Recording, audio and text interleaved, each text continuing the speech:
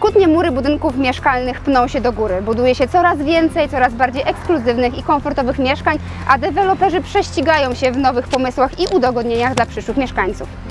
Kutno się buduje, buduje się dla mieszkańców. Mówimy o budownictwie mieszkaniowym. Jak to wygląda? Jak wyglądają statystyki? Ile tego się buduje w Kutnie? No mamy w Kutnie ogromny boom mieszkaniowy, jeśli chodzi o budowę mieszkań, które już są realizowane i te, które y, są potencjalnie przewidziane, gdzie są już odpowiednie dokumenty, wystąpienia, pozwolenia na budowę. y, Także no, ta, cała ta procedura administracyjna y, postępuje. Można powiedzieć, że w najbliższych latach, czy to 3, 4, może do 5 lat, powstanie w Kutnie około tysiąca nowych mieszkań. To są duże zespoły mieszkaniowe przy ulicy Oporowskiej. Tam by było ponad 300 mieszkań w sumie w kilku tych takich zespołach, bo to jest kilku deweloperów. Drugi taki ogromny zespół to jest y, Łąkoszyn, gdzie w tej chwili jest realizacja budynków y, spółdzielni mieszkaniowej Pionier. Dwa budynki są już oddane, y, trzeci jest w budowie, tam jeszcze jest miejsce przewidziane na kolejny budynek. I to jest przy ulicy Bukowej i po stronie y, zachodniej ulicy Bukowej y, ma powstać osiedle, y, które, które przewiduje 350 mieszkań. A więc no, Łąkoszyn będzie przede wszystkim takim największym placem budowy i miejscem zamieszkania. Znajdujemy się przy ulicy Oporowskiej 22 w Kutnie, gdzie realizujemy pierwszy etap osiedla Lawenda, e, który oddajemy do użytku już w listopadzie tego roku. W pierwszym etapie oddamy 64 mieszkania. Drugą inwestycją, pod którą e, przygotowujemy grunt jest inwestycja Perła Kutna, która również stanie pod tym samym adresem przy ulicy Oporowskiej 22 na działce obok. W najbliższym czasie rozpoczynamy sprzedaż drugiego etapu osiedla Lawenda. Docelowo będzie to 8 bloków.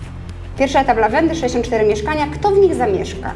Jakie jest zapotrzebowanie na rynku kutnowskim? Głównie rodziny, często są to rodziny z dziećmi, natomiast y, też zdarzają się klienci, którzy kupują inwestycyjnie mieszkania. Nie tylko mieszkańcy Kutna. Tak, nie tylko. Mamy również e, klientów i z nadmorza, i z Warszawy, więc y, z różnych części Polski. Czym się kierują potencjalni mieszkańcy nowego osiedla? E, Głównie zwracają uwagę na dobry dojazd do centrum, czyli lokalizację, e, też bezpieczeństwo. Nasze inwestycje są oczywiście ogrodzone, w niektórych mamy monitoring. Klienci zwracają również uwagę na udogodnienia dla osób niepełnosprawnych i też na swoją wygodę, bo w blokach mamy windy. E, Jaki metr, jakim metrażem najbardziej, najczęściej interesują się mieszkańcy? Czy są to duże mieszkania? Czy na przykład istnieje możliwość złączenia kilku mieszkań w jedno? Czy jednak małe, niewielometrażowe mieszkanka? Trudno odpowiedzieć na to pytanie, bo tak naprawdę co klient to inne oczekiwania. Niektórzy są zainteresowani stricte kawalerkami, niektórzy małymi mieszkaniami dwupokojowymi, natomiast też y, nasze mieszkania większe cieszą się zainteresowaniem i też klienci niektórzy decydują się na łączenie mieszkań, uzyskując większe metraże w przypadku na przykład większych rodzin. I tu jest przewaga tego, że można kupić takie mieszkanie zanim ono zostanie wybudowane. Tak, oczywiście. Wszystkie takie zmiany w mieszkaniu możemy wprowadzić. Takie zmiany nie są dodatkowo płatne. Klienci na etapie budowy mają wybór, jeżeli chodzi o rozkład mieszkania, o rozkład punktów świetlnych, gniazdek elektrycznych, łączników.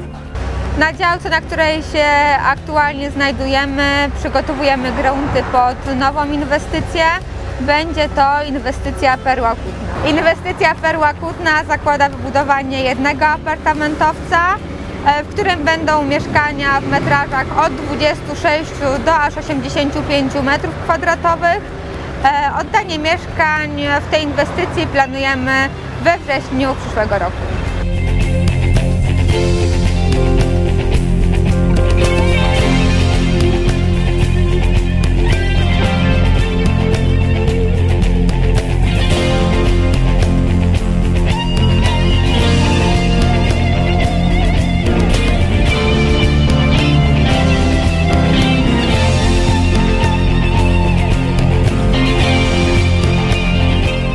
Najważniejsze, że jest ten potencjał, że jest wola u deweloperów, bo y, ich dane marketingowe pokazują, że tu jest potencjał właśnie rynku, że ludzie mają środki finansowe i są zainteresowani nowymi mieszkaniami. Bo dla nas najbardziej wartościową rzeczą to taką z punktu widzenia nawet miasta i budżetu, to żeby byli to mieszkańcy miasta, którzy jak wykupią te mieszkania, będą mieszkać, żeby byli zameldowani, żeby byli płatnikami tutaj u nas, a teraz mamy takie czasy, że wiemy, że mieszkania są lokatem kapitału i to już widzimy po tych mieszkaniach, które są aktualnie oddawane w tych innych osiedlach, które są w budowie, wie, że część mieszkań stoi pusta, jest, a jest kupiona.